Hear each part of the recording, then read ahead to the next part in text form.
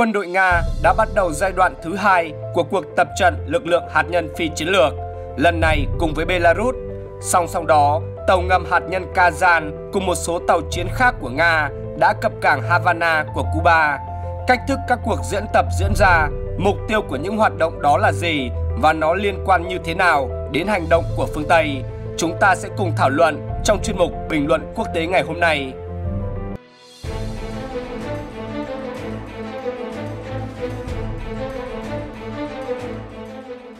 Bộ Quốc phòng Nga cho biết trong cuộc tập trận với Belarus, các vấn đề huấn luyện chung của các đơn vị lực lượng vũ trang hai nước về cách sử dụng vũ khí hạt nhân phi chiến lược trong chiến đấu sẽ được giải quyết. Mục đích của cuộc diễn tập là nhằm duy trì trạng thái sẵn sàng của lực lượng vũ trang hai nước nhằm đảm bảo chủ quyền và toàn vẹn lãnh thổ của nhà nước liên minh. Một đoạn video dài một phút rưỡi được Bộ Quốc phòng Nga công bố cho thấy việc triển khai hệ thống tên lửa chiến thuật tác chiến Iskander và hoạt động của hàng không, máy bay chiến đấu MiG-31 và tàu sân bay tên lửa Tu-22. Chính những loại vũ khí này đã được sử dụng ở giai đoạn đầu của cuộc tập trận. Sau đó, các binh lính phòng không của quân khu phía Nam thực hiện nhiệm vụ lấy đạn đặc biệt, lắp đặt trên tàu sân bay cũng như di chuyển vào khu vực và chuẩn bị phóng. Ngoài ra, cuộc tập trận còn huấn luyện cách sử dụng vũ khí hàng không, bao gồm cả tên lửa siêu thanh Kinzhan. Bộ Quốc phòng Nga cho biết thêm, các đơn vị của quân khu Leningrad sẽ thực hiện các nhiệm vụ huấn luyện chiến đấu sử dụng tổ hợp Iskander-M. Đây là loại vũ khí đáng chú ý nhất trong giai đoạn 2 của cuộc tập trận hạt nhân. Các mô hình đầu đạn hạt nhân dành cho Iskander đã được trình diễn tại diễn đàn quân đội vào năm 2018. Sức mạnh của Iskander theo nhiều ước tính khác nhau là từ 5 đến 50 kiloton. Theo ước tính sơ bộ của Viện Nghiên cứu Hòa bình Stockholm, SIPRI, quân đội Nga có khoảng 70 đầu đạn hạt nhân cho tổ hợp này, nhưng trên thực tế có thể nhiều hơn. Ngoài ra, khó có thể tìm kiếm thêm các thông tin nào khác về Iskander này với các đầu đạn đặc biệt. Tổ hợp Iskander-M là một trong những biến thể của Iskander OTRK, tổ hợp tên lửa đạn đạo chiến thuật tầm ngắn, sử dụng tên lửa đạn đạo 9M723. Iskander được thiết kế để tiêu diệt các hệ thống tên lửa phóng loạt, hệ thống phòng không và phòng không tên lửa của đối phương, máy bay và trực thăng tại các sân bay, sở chỉ huy và các cơ sở hạ tầng quân sự. Theo RT, việc phát triển tổ hợp này bắt đầu vào cuối những năm 1980 sau khi Mỹ và Liên Xô ký kết hiệp ước lực lượng hạt nhân tầm trung. Sau đó, lãnh đạo Liên Xô đã đưa tổ hợp tác chiến chiến thuật 9K714 OK vốn ban đầu không được đưa vào danh sách vũ khí cần loại bỏ. Đồng thời, Oka được coi là tổ hợp tên lửa đạn đạo chiến thuật tầm ngắn tốt nhất thế giới vào cuối những năm 1980. Sau đó, người đứng đầu Cục Thiết kế Kỹ thuật Cơ khí Colomna, nhà thiết kế tên lửa nổi tiếng Sergei Nepomedemy đã thuyết phục lãnh đạo Liên Xô hỗ trợ phát triển OTRK mới không tuân theo các điều khoản của Hiệp ước INF, nghĩa là có tầm bắn tối đa 500 km. Iskander được tạo ra nhờ những công trình này và được đưa vào sử dụng năm 2006. Năm 2017, nhà thiết kế của Cục Thiết kế Kỹ thuật Cơ khí Columna Valery Kansin đã báo cáo rằng ít nhất 7 loại tên lửa đã được tạo ra cho tổ hợp Iskander-M. Vào tháng 10 năm 2022, Kansin tuyên bố rằng khả năng của OTRK sẽ tiếp tục được tăng lên thông qua việc sản sinh ra các tên lửa mới, mạnh hơn. Ông Kasin cho biết cơ sở hạ tầng được tạo ra cho Iskander có thể sẽ tồn tại được 30 năm, tùy theo tình hình mà sẽ thay đổi. Nhưng đồng thời, khả năng chiến đấu ngày càng được nâng cao và trên hết là do việc đưa các tên lửa mới tiên tiến hơn vào cho Iskander. Các đặc tính chiến thuật và kỹ thuật của tổ hợp Iskander-M chưa được công bố chính thức. Tuy nhiên, theo dữ liệu mở của RT, tầm bay tên lửa của nó lên tới 500 km. Những tổ hợp tên lửa đạn đạo chiến thuật tầm ngắn này đã nhiều lần thu hút sự chú ý của cộng đồng chuyên gia quân sự phương Tây và các ấn phẩm chuyên ngành. Tạp chí chính trị quân sự Mỹ The National Interest trong bài viết có tựa đề Iskander, tên lửa di động của Nga bị NATO ghét, lưu ý rằng những chiếc OTRK này có thể tấn công mục tiêu bằng cả tên lửa thông thường và tên lửa hạt nhân với độ chính xác cao.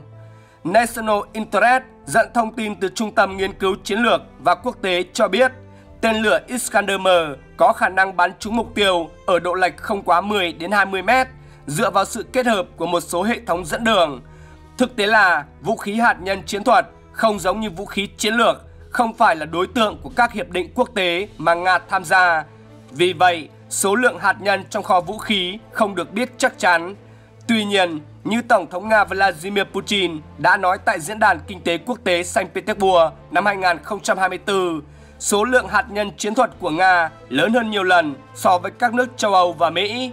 Đồng thời, trong số các thiết bị phi hạt nhân, tên lửa Kinzhan đã chứng tỏ khả năng bất khả xâm phạm của mình trước các hệ thống phòng không. Loại vũ khí này đã nhiều lần được sử dụng để tấn công các mục tiêu quân sự của Ukraine trong chiến dịch quân sự đặc biệt. Kinzan là loại vũ khí được mệnh danh không có đối thủ, không thể bị bắn hạ. Ngoài các tên lửa, bao gồm cả calibre phóng từ biển, quân đội Nga còn có sẵn một kho vũ khí hạt nhân rất phong phú. Loại nhỏ nhất là 3 BV3 152mm có công suất 2,5 kiloton. Nó được đưa vào sử dụng năm 1981 và được thiết kế để bắn từ nhiều loại súng D20, ML20, pháo tự hành 2S3 Acacia, 2S5 Jansin S, kéo Jansin B. Ngoài ra, còn có đạn hạt nhân cho súng cối Tulip 240mm. Giai đoạn đầu tiên của cuộc tập trận hạt nhân phi chiến lược đã bắt đầu từ ngày 21 tháng 5 năm 2024. Giải thích cho hoạt động này, thư ký báo chí của Tổng thống Nga Dmitry Peskov nhấn mạnh tuyên bố của các chính trị gia phương Tây về việc sẵn sàng gửi lực lượng quân đội tới Ukraine đã thực sự đặt binh sĩ NATO đối diện với quân đội Nga. Đây là một vòng leo thang căng thẳng hoàn toàn mới. Đó là điều chưa từng có. Do đó, theo ông Peskov, nó đòi hỏi sự quan tâm đặc biệt và các biện pháp đặc biệt. Theo nhà phân tích quân sự, tổng biên tập tạp chí quốc phòng Igor Krochenko, mục đích chính của những sự kiện tập trận như vậy là kiểm tra sự sẵn sàng của các đơn vị vốn được trang bị đầy đủ các loại vũ khí, kể cả vũ khí hạt nhân chiến thuật. Chuyên gia quân sự Krochenko cho rằng, nói cách khác, thuốc súng phải được giữ khô.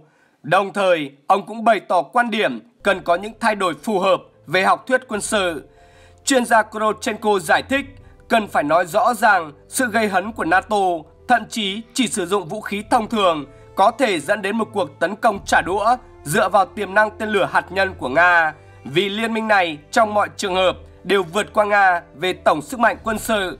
Vậy nên, Nga sẽ đáp trả tương xứng để thoát khỏi mối đe dọa từ NATO. Chuyên gia quân sự Ivan Konovalov nhận định, cuộc tập trận hiện tại giữa Nga và Belarus gửi một tín hiệu rõ ràng tới toàn thể phương Tây. Các tổ hợp Iskander-M với vũ khí hạt nhân phi chiến lược đã sẵn sàng để đảm bảo an ninh cho đất nước. Phát biểu tại Diễn đàn Kinh tế Quốc tế Saint Petersburg 2024, Tổng thống Nga Putin đề cập đến những điều chỉnh có thể xảy ra đối với học thuyết hạt nhân.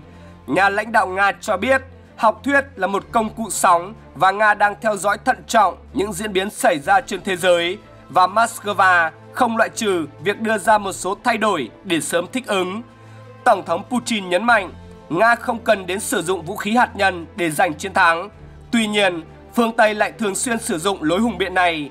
Đồng thời, Tổng thống Putin khẳng định Moscow đã rút khỏi hiệp ước cấm thử hạt nhân toàn diện và có khả năng tiến hành chúng nếu cần thiết. Tuy nhiên, hiện Nga không có nhu cầu sử dụng công cụ đó.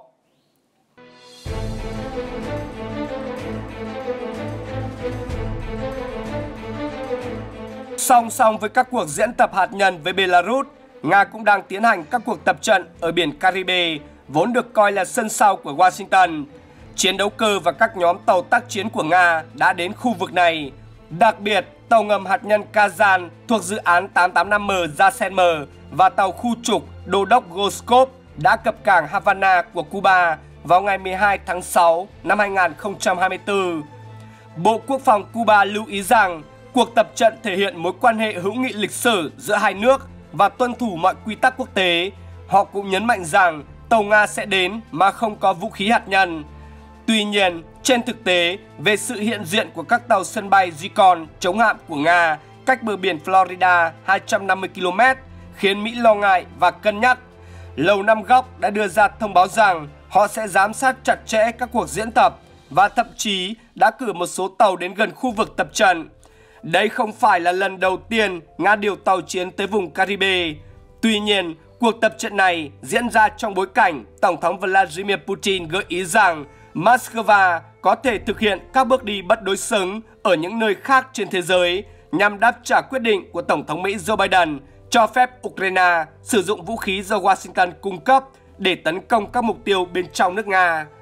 Chiến hạm đô đốc Goskov, tàu ngầm hạt nhân Kazan cùng các tàu chở dầu tiếp tế và tàu kéo cứu hộ của Hải quân Nga sẽ ở lại Cuba cho đến ngày 17 tháng 6. Sau đó, họ sẽ lên đường tới Venezuela.